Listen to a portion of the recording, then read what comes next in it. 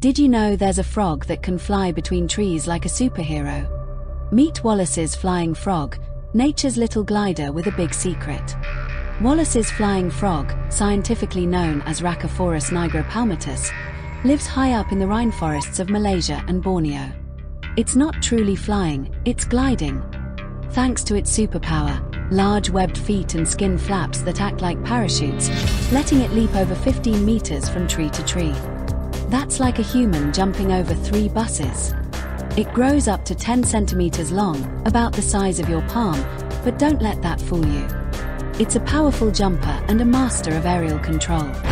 To protect itself from predators, it stays high in the treetops, hidden by its bright green skin that blends perfectly with leaves.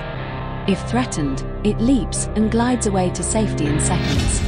During the mating season, the male calls out with a soft croak, attracting females. They build foam nests on leaves overhanging water.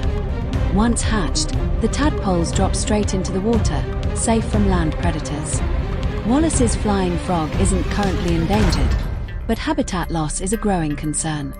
These frogs are arboreal, meaning they live and breed almost entirely in trees, and they rely on dense, moist forests to survive. Wallace's flying frog is not just a leap above the rest, it's a gliding marvel of evolution.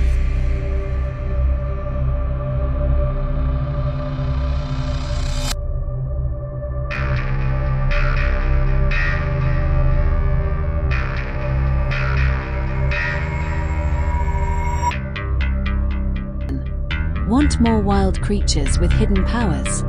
Hit subscribe, smash that like,